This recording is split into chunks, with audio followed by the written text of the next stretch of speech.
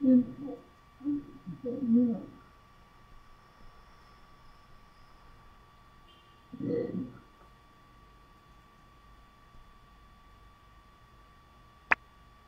I was really good at it. I was really good at it. I was really good at loving him. Cause god damn it, I was the only motherfucker that loved him in his whole life.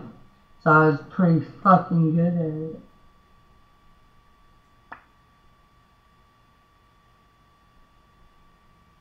And then he just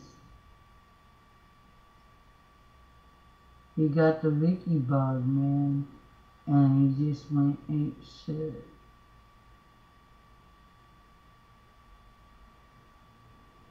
And I lost him.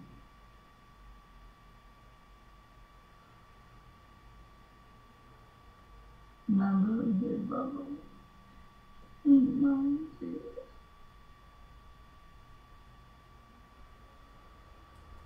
I really did.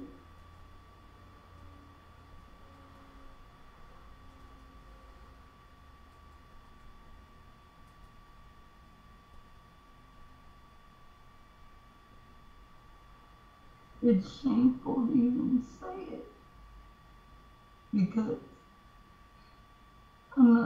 supposed to love anybody. So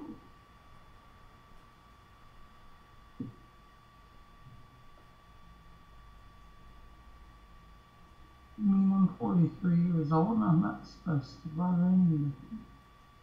I'm just supposed to just sit here, you know?